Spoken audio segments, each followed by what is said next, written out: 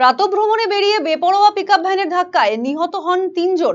মালদার হরিশ্চন্দ্রপুরের এমন মর্মান্তিক ঘটনায় নিহত তিনজন দিলীপ সাহা, চিকিৎসক সুরেশ খৈতান এবং ফেকন লাল রামের পরিবারের লোকেদের সঙ্গে দেখা করেন মন্ত্রী তাজমুল হোসেন।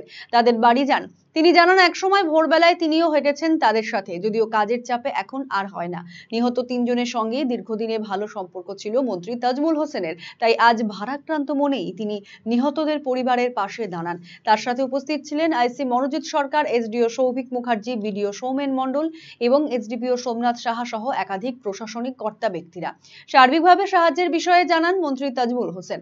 অপরদিকে সমস্ত বিষয়ে জানতে পেরে এলাকায় দুর্ঘটনা কমাতে পথে পথবাতির পর্যাপ্ত ব্যবস্থা করার নির্দেশ দেন জেলাশাসক নিতিন সিংহানিয়া। একটা মর্মান্তিক ঘটনা। ডাক্তার এই এখন যে আছে আমাদের দীর্ঘদিনের আমার পঞ্চাশ বছরের বন্ধু ওনার সাথে আমার খুবই সম্পর্ক ওনার পরিবারের পাশে আমরা আছি। সমস্ত রকম যেরকম আমাদের সহায় আছে সমস্ত রকম তার কাছে তার পরিবারের পাশে আমরা আছি।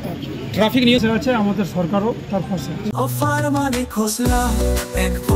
স্বপ্ন আপনার নিজের দোকান।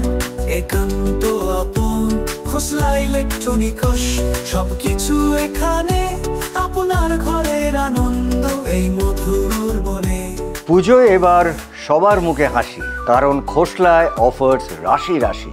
ভীষণ খুশি মন এবার খোসলা প্রিয় আমাদের সবার।